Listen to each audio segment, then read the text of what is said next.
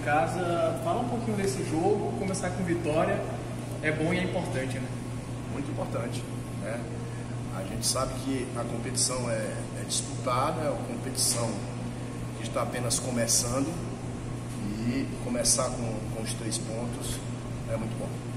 O que você viu de maior dificuldade para o time do Icasa sair com uma vitória maior, Marcelo? Vitória importante, fez um gol, mas o que faltou para um, um, placar mais favorável ao time do Verdão? Eu acho que nós temos muito a crescer. Né? O bom é que eu acredito que o time pode crescer.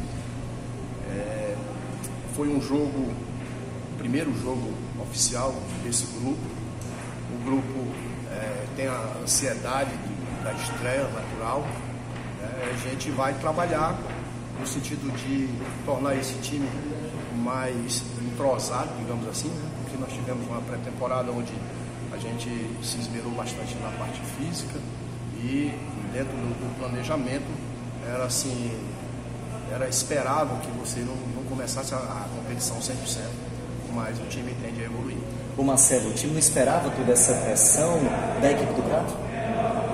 Eu, não, não vi essa pressão toda. Né? Nós erramos muito passe que permitiu que eles pudessem fazer o jogo penetrar em determinados momentos do jogo. Né?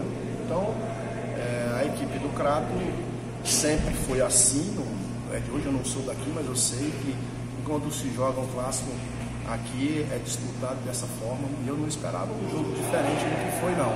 Agora esperava um rendimento melhor do meu time, mas também digo novamente que por ser estreia, é, a vitória está de bom tamanho.